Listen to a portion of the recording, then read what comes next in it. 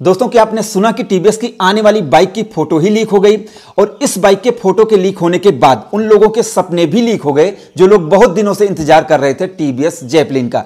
तो इस बाइक की फ़ोटो को देखकर मुझे क्या लगा है और क्या जानकारी मिली है, मैं आपको अपने अनुभव के आधार पर बताने की कोशिश करूँगा, जिससे आप लोग ये कन्फर्म कर पाए कि आपको इस बाइक को लेना है। या फिर नहीं लेना है। सबसे पहले हम इस बाइक के फ़ोटो की बात करेंगे और उससे पहले मैं आपको बताना चाहूँगा कि अब शायद ये बाइक टीवीएस रोनिन 225 के नाम से आ रही है। अब इस बाइक की फ़ोटो जो साइड से देखी जा रही है, उसके बारे में आपको बताना चाहूँगा। आप देखेंगे आपके स्क्रीन पर है ये फ़ोटो और इसमें देखकर आपको ये लगेगा कि इसमें तीन बाइकों का डीएनए है। सबसे पहले आप साइलेंसर को देखेंगे, जिसमें पीछे का जो मफलर है, वो आपको लगेगा टीवीएस रेडर की तरह, लेकिन आगे की जो बैंड पाइप है, उसको देखकर आपको ऐसा लगेगा कि ये टीवीएस अपाचे की है। अब इसके अलावा जो इसका टैंक और साइड पैनल है, इसको देखकर आपको ऐसा लगेगा कि बजाज की ये बॉक्सर जो 150 सीसी में आई थी, वैसे ही इसका लुक है। मतलब थोड़ा सा स्कैम्बलर वाला लुक इसमें दिया गया है। तो मतलब इसका गोल पेट्रोल टैंक और साइड पैनल को देखकर आपको जैसे बजाज बॉक्सर लग सकती है। बाकी आके, आगे इसमें अप साइड डाउन फॉर्क है एलईडी लाइट है और डिजिटल मीटर है और लगभग 280 या 300 सौ mm की इसमें आपको डिस्क ब्रेक शायद ड्यूल चैनल एबीएस के साथ मिल जाएगी। और पीछे का डिज़ाइन जो स्पाइस शॉट देखे गए थे, उसको आप देखेंगे तो पीछे का डिज़ाइन तो ज़्यादा पसंद नहीं आएगा। लेकिन अब इस बाइक को देखकर ऐसा लगता है जैसे इन्होंने कई बाइकों को मिक्स करके इसको बनाया है।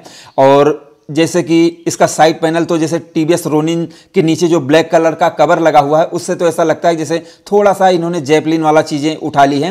और बाकी साइड साइड पैनल और पेट्रोल टैंक को देखकर ऐसा नहीं लग रहा है कि जैसे कोई बहुत खास बाइक आ रही है। अब यहाँ पर फ़ोटो को देखकर मैं बता रहा हूँ, हो सकता है जब आप व्यक्तिगत बाइक को देखें तो आपको ज़्यादा पसंद आए, लेकिन फ़ोटो को देखकर तो भाई ऐसा नहीं लगता है कि जैसे ये कोई बहुत खूबसूरत तो मैं नहीं कह सकता हूँ। फ़िलहाल जैसे एक क्रूजर बाइक या फिर आप स्कैमलर कह सकते हैं, कई बाइकों को मिक्स करके जो बाइकें बनाई जाती हैं वैसे ही मुझे ये बाइक लग रही है। अब हम इंजन की बात करें।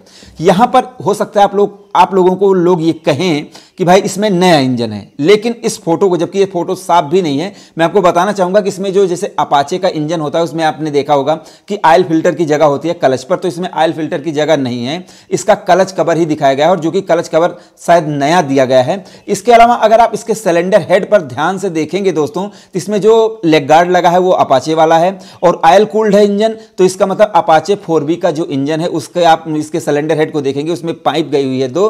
तो मुझे लग रहा है कि अपाचे 200 फोर बी वाला इंजन ही इसमें आएगा। अब आप कहेंगे कि वो 200 है, ये 220 है या 225 है तो ऐसा कैसे हो सकता है? मैं आपको बताना चाहूँगा 25 सीसी के लिए लोग इंजन नहीं बदलते हैं। उसमें बोर और स्ट्रोक हेड और सिलेंडर को चेंज करने के बाद वाल्व चेंज करने के बाद टाइमिंग चेन चेंज करने के बाद, थोड़ा सा करज को इंप्रूव करने के बाद गियर रेशियो को सेट करने के बाद, पीछे की चेन को घटाने या बढ़ाने के बाद लोग थोड़ी सी सीसी देते हैं, जिससे बाइक उनकी नई बनकर तैयार हो जाती है। अब कोई बिल्कुल नया इंजन नहीं है। जो अपाचे में आ रहा है, वही इंजन आपको दिया जाएगा एक नए लुक के साथ। बस मुझे इस बाइक को देखकर ऐसा लग रहा है। और कीमत इसकी लगभग दो लाख के आसपास होगी, या तो कम हो सकती है, या फिर थोड़ी सी ज़्यादा हो सकती है। हाँ अपसाइड डाउन फॉर्क मिलेंगे, हो सकता है ड्यूल चैनल एबीएस और ब्लूटूथ कनेक्टिविटी और बहुत सारे जो टीवीएस के फीचर्स रहते हैं, ये सारी चीज़ें आएँगी। अब 220 सीसी की है, जो अपाचे इनकी है टू हंड्रेड वो लगभग तीस पैंतीस की माइलेज देती है तो ये भी लगभग तीस की आप मानकर चलो कि 28 से 30 तक की माइलेज इस बाइक में आपको मिल जाएगी।